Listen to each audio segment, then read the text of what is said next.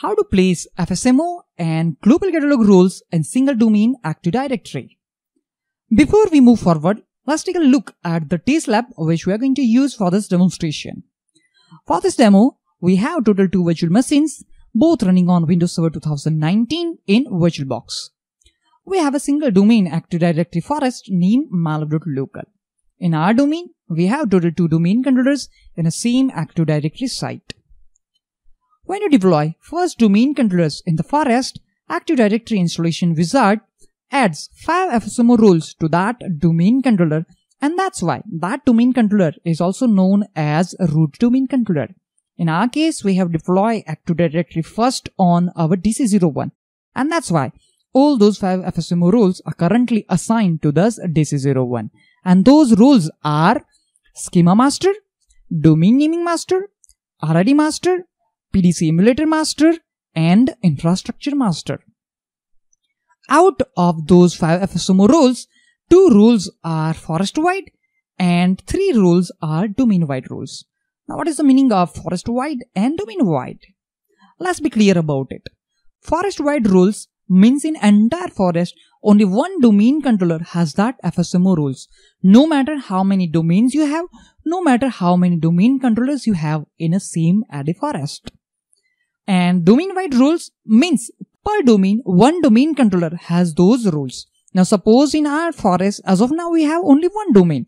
But suppose in future, if we deploy another domain with a single domain controller in it, that time we have three more rules on that domain controller as well. If you only have one domain controller, which is not recommended at all, there's nothing to do since all rule must be on that domain controller. But suppose if you have multiple domain controllers in your domain, that time you should move some of those roles to other domain controller as well. It is also important to be aware of what servers are global catalog servers, especially if you have more than one domain and even if you have only one domain. So as of now, as you can see, our DC01 holds all 5 FSMO roles and as well as that server is also configured as a global catalog server. So we want to move some of the rules from our DC01 to DC02 because we have a two domain controllers in our domain. So for that, uh, which rule we should have to move to DC02 that we want to see in this video. There are total three simple rules for FSMO rules best practices.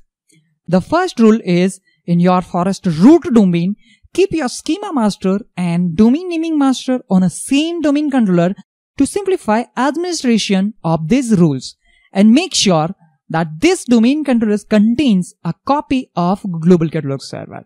The second rule, in each domain, place the PDC emulator and RID master rules on a same domain controller and make sure the hardware of that domain controller can handle the load of these rules and any other duties it has to perform. The third rule is in each domain, make sure that the infrastructure master role is not held by a domain controller that also hosts the global catalog server. And also you need to make sure that the infrastructure master is a directly replication partner of a domain controller hosting the global catalog that resides in the same site as the infrastructure master. So by using these three rules, we want to transfer some of the rules from our DC01 to DC02. So what exactly we are going to do in our test lab? So first of all, we will configure our DC02 to not to be a global catalog server. Then after, we will move three domain-wide rules from our DC01 and we will place those rules on our DC02. That we are going to do on our domain controller. So let's jump to our DC01 uh, this is our DC01. As you can see, uh, computer host name is that ws2k19-dc01 and the domain is mylab.local. And as you can see, I have created one Active Directory site named Mumbai-HO and our both domain controllers are stored under that Active Directory site. Uh, let's open PowerShell because first of all, we want to verify that whether the five FSMO rules are currently assigned to DC01 or somewhere else. For that, we need to run one command netdom query FSMO. As you can see right now, all five FSMO roles are assigned to our DC01 and we can confirm from this console that our both domain controllers are currently configured as a global catalog server. So our first task is to not to configure DC02 as a global catalog server. For that, let's click on uh, DC02. Uh, let's click on NTDS settings, right click there and go for the properties. Here, as you can see, the checkbox is there. Uh, we just simply need to clear this checkbox. And after that, our DC02 will no longer act as a global catalog server. Fine, let's click on apply and click on OK. Let's check the application. So we want that this information must replicate with our all domain controllers. As of now, we have only two domain controllers. Fine, let's check replication. Okay, both domain controllers are in the same site, so replication will be definitely very quickly. Okay, now let's again click on servers. Let's right click here and select refresh. Now you can see DC01 is configured as a global catalog server and our DC02 is not configured as a global catalog server. And now we need to transfer those three domain-wide FSMO rules from our DC01 to DC02. And for that, let's minimize it. Remember, I am performing this uh, operation on our DC01. You can do on DC02 as well. There will be no problem with it. Now, first of all, as you can see, this console is currently connected with DC01. Fine. Let's select mylab.local, right click on it and select operation masters. Now here you can see all three domain-wide rules are listed here. Currently RID, PDC and infrastructure master, all rules are currently assigned to DC01 and that we want to change.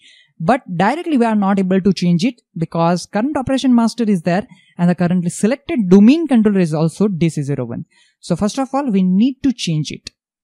Fine. So let's uh, click here and we need to change the domain controller Say, if you perform this action on a DC02, that time you don't need to do it. And that's why I am performing it on a DC01. Click on OK. And now we are connected with DC02. Let's again click on mylab.local. Click on operation masters. And now we can simply change it. Because here you can see DC02 is listed. Let's click on change and click on yes. Fine. Okay. Now as you can see, current operation master is DC02. Let's do the same for PDC and infrastructure master. Okay. And do the same for infrastructure. Fine. Let's click on change. Click on yes. And click on OK. Fine. Let's close this console and let's close Active Directory users and computer console as well. Let's verify the same thing on our PowerShell as well. Let's again run command netdom query fsmo.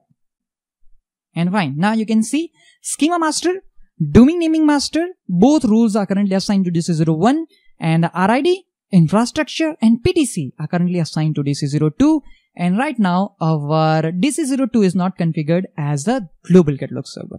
So let's again go back to the slide. Rule number one, in your forest root domain, as of now, we have only one domain and that is our mylab.local domain. You need to keep your schema master and domain naming master on the same domain catalog with global catalog. And that condition here, we fulfill that. Our DC01 is configured as a global catalog server and as well as uh, schema master and domain naming master are on our DC01.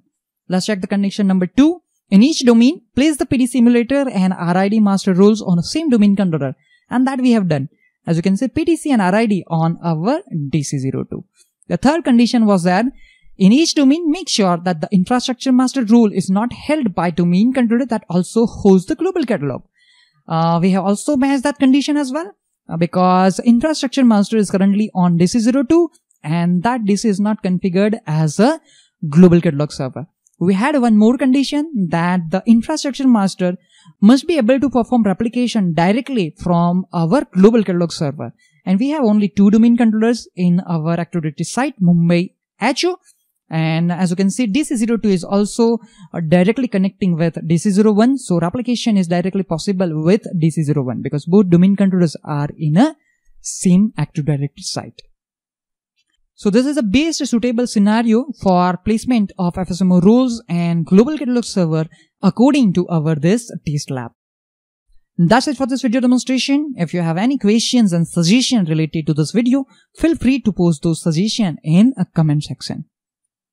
Thank you all for watching this video.